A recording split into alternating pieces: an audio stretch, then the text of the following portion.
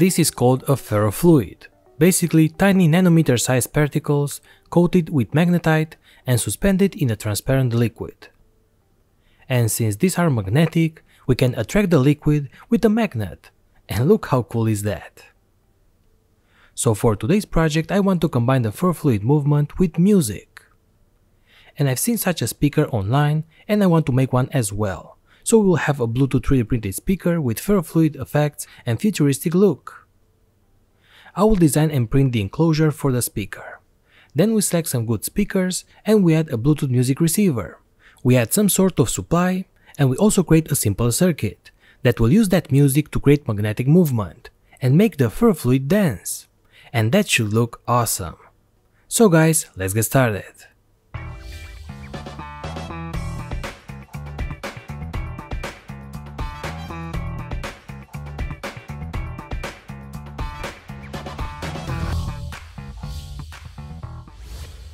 Hey guys, PCBWay is sponsoring this video and let me just tell about their services. For example, look how awesome their prototyping PCBs are.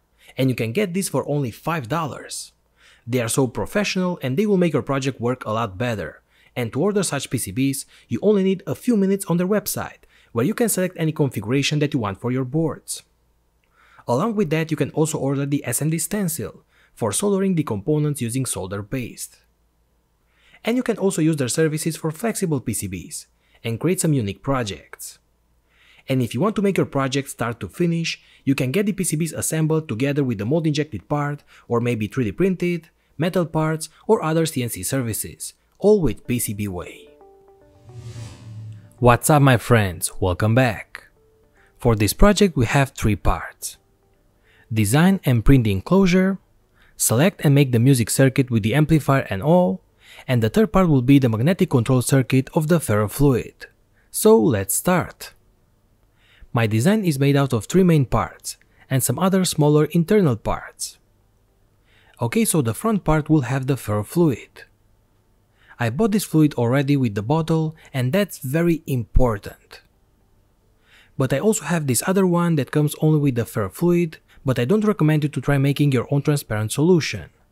From what I've seen online, it's quite difficult to get the perfect concentration, and for just a few more dollars, you can get the round flat bottle as well. But don't buy this other type. It's not actually original ferrofluid.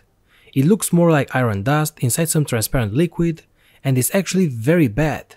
And as you can see how one looks like a liquid, but the cheap one looks like some small bits of metal.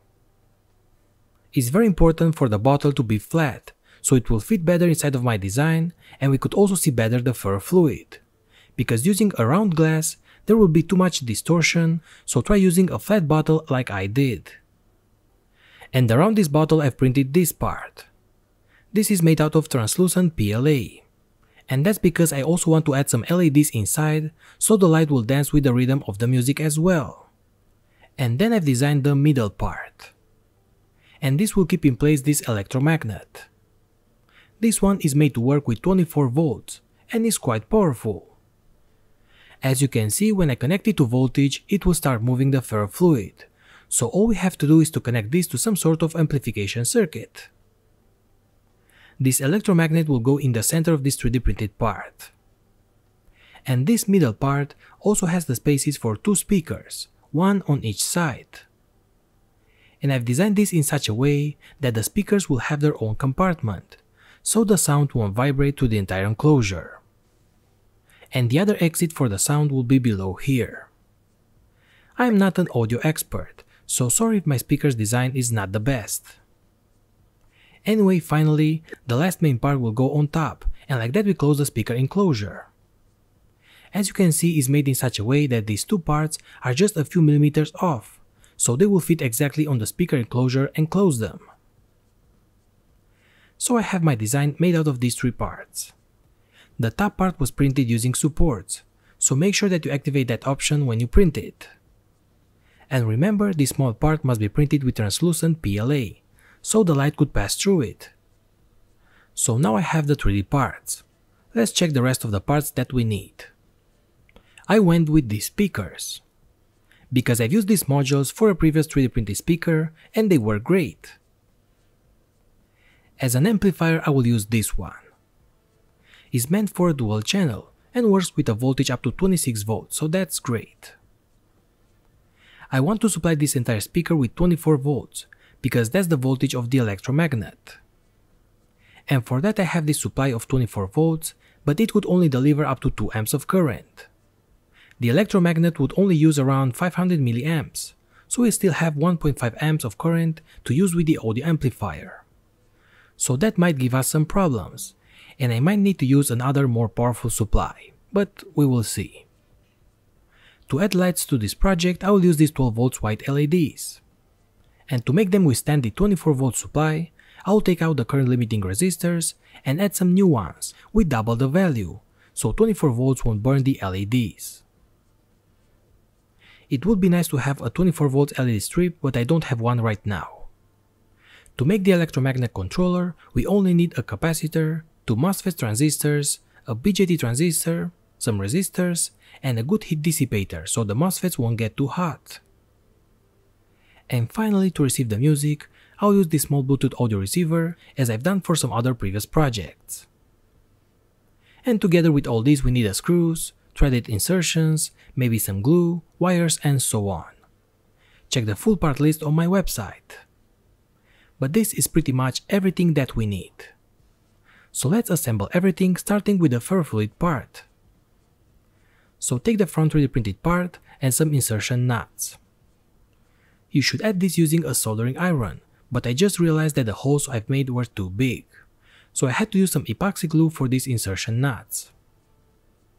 But now I can use some M3 screws and fit in place the transparent part.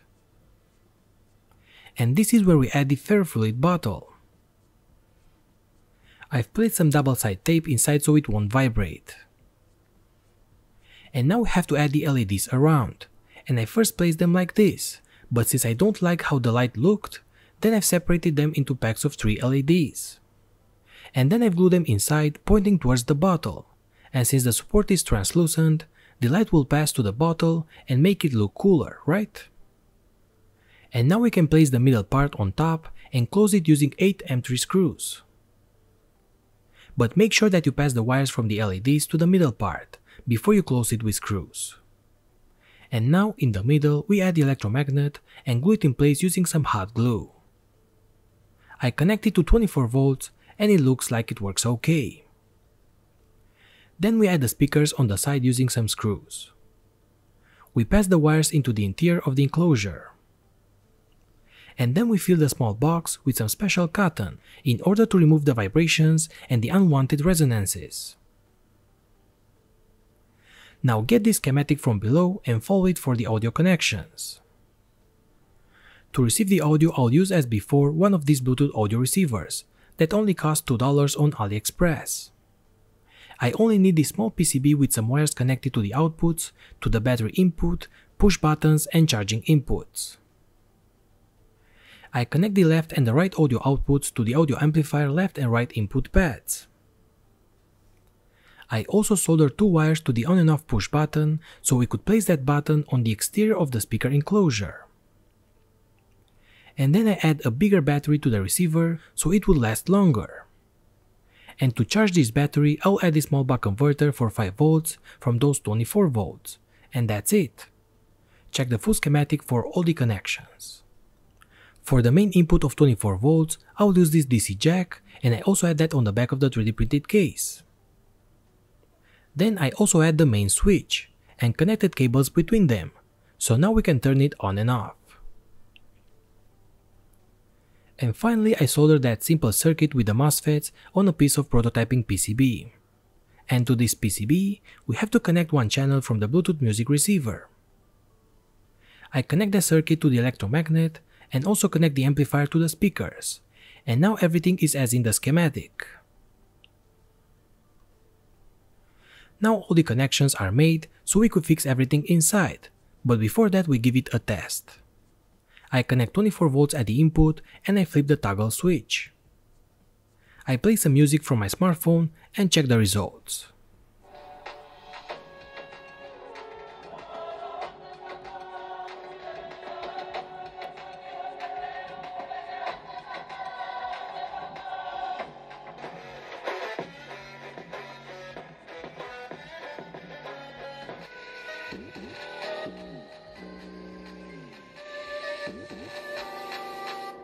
Jason Voorhees.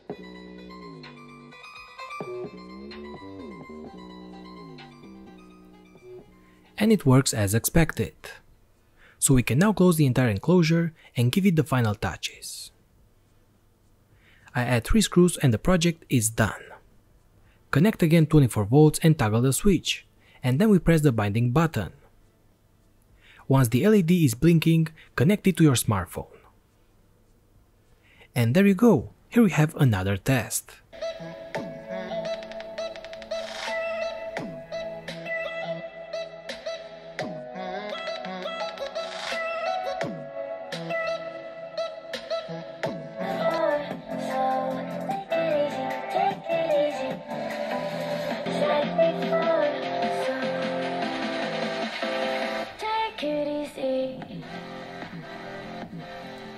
So guys, you have the full part list, the design for the 3D printed enclosure, the circuit that I've made and everything that you need on electronoobs.com. So check the links below for the tutorial page. I hope that you like this project and that you have learned something new. If so, give me a like or comment below. Thanks again and see you later guys. So guys, here I am in my workshop, another video that ended, I hope that you like it, and the most important part, I hope that you have learned something new. Anyway, I just wanted to give a thank you to all my patrons, to you guys, to the viewers who are supporting me, liking my content, uh, sharing it, commenting below. Uh, just check my website, check my shop, check my t-shirts. All this kind of stuff will support my channel. So thank you very much once again.